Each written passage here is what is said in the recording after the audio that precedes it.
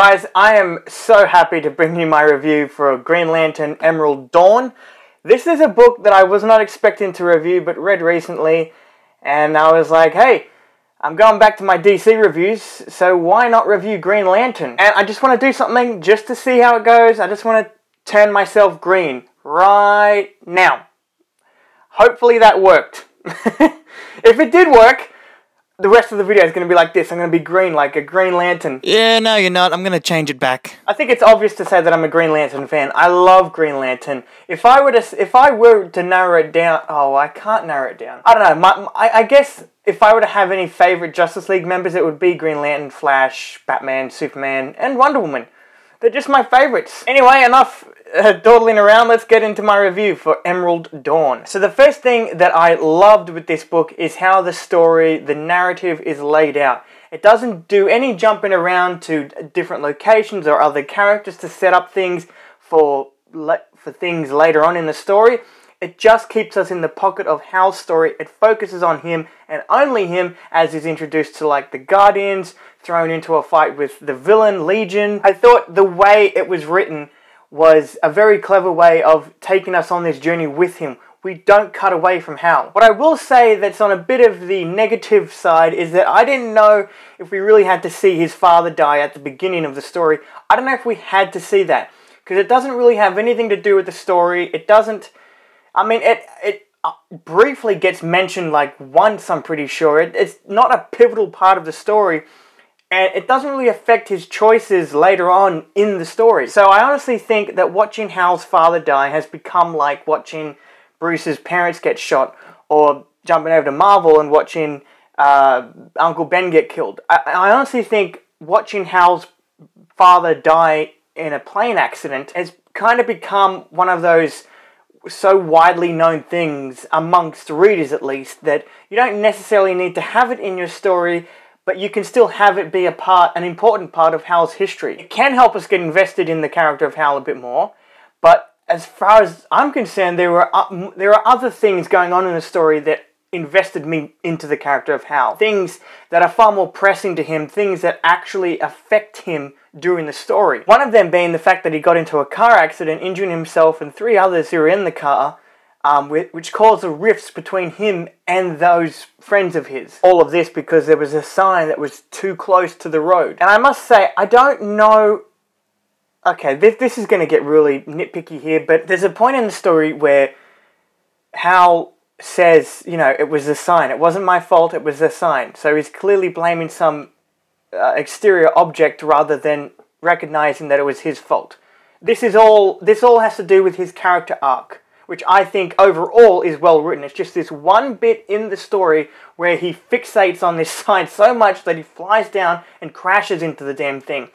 I think it was maybe just a bit too heavy-handed in showing us that he's a bit of a screw up. So I get that he's a screw up, I just think that maybe him fixating on the sign was maybe a step too far. Other than that, though, his character arc and he, he, how he changes and evolves as a character, I thought was well done. Here's something I didn't know about Green Lantern, because just so you guys know, all I've seen of Green Lantern up until this point was uh, the Ryan Reynolds movie, which was not the best um, thing to get introduced to Green Lantern. Um, But I've also seen him as a side character in animated films and shows. So he, I've never actually experienced Hal Jordan Green Lantern or really any other Green Lantern in their own material.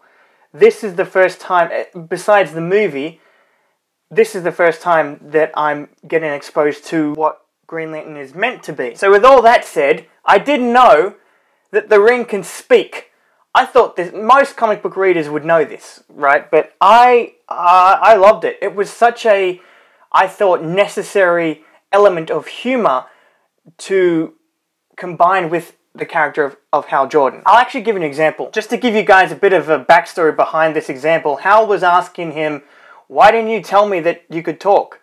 And the ring's response was, no inquiry was made. And then when he actually asks it a direct question, its only response is, is this an inquiry? And I thought the humour behind the ring being able to talk and, and not really knowing how to interact with people was a lent itself to being like the C3PO to Hal Jordan's Luke Skywalker. Come to think of it, there are uh, other things that I didn't know Green Lantern could do, um, which I didn't write in my my notes, but I will mention. There are a couple times in the book where he phases through a, like object like solid objects. Like he visits one of his friends in the hospital, and just when he needs to leave, he flies through the window without breaking it, phases through it.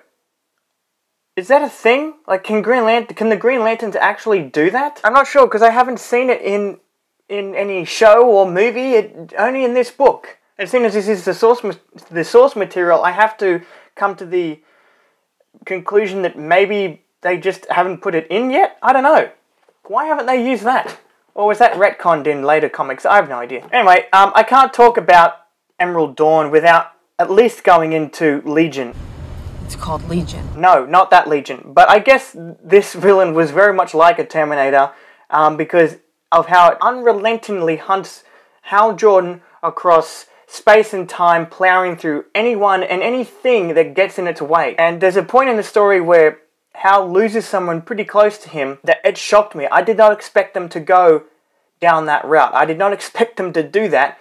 Um, and this I would use as a better example of the writers and the story showing us how much of a screw up he is. This is the shit that I really related to. A lot of what the writers did with Hal Jordan in this book um, made me relate to this character, and I was shocked that they they that they did that with one of his friends, and I was like, whoa, this book just took it to a whole new level. Another thing that also took it to a, another level is that the villain Legion is not your stereotypical villain that just wants to destroy things or take over the world which is what I was expecting it to be given the age of the book. Not to judge a book by its cover, but I, I thought because it was an older storyline, they wouldn't be willing to do certain things, but they did. We related to.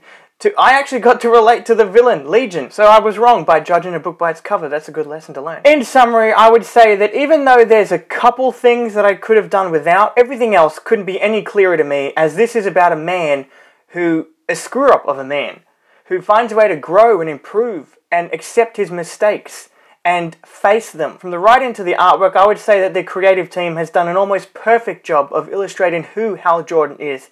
And if you haven't gotten into Green Lantern already, I would say don't read Secret Origin first, read Emerald Dawn. This is actually Emerald Dawn 1 and 2. Speaking of Emerald Dawn 2, I haven't written any notes down for this, but I just wanted to quickly give you my thoughts on that book. Emerald Dawn 2 I liked, but not as much as the first because the first was a coming of age story, where the second one delved more into the Green Lantern Corps and Hal's relationship with Sinestro.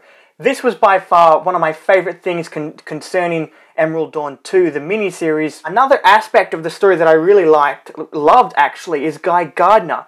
Now, I only know about Guy Gardner from the shows and movies, right? That's all, that's the only thing I know about Guy Gardner. I know barely anything. From this one miniseries, I got I got a peek behind the curtain of who Guy Gardner actually is. And just from this miniseries, he doesn't remind me at all from what I've seen in media so far. And I actually don't want to say anything about it because it, it, it genuinely shocked me. And if you're and if you haven't read that much Guy Gardner or really any Green Lantern at all, and you go into this, I want you to experience Guy Gardner for the first time and everything else mostly for the first time. If I were to have any problems with it, um, I guess I would say that the stuff going on in space was much more interesting to me.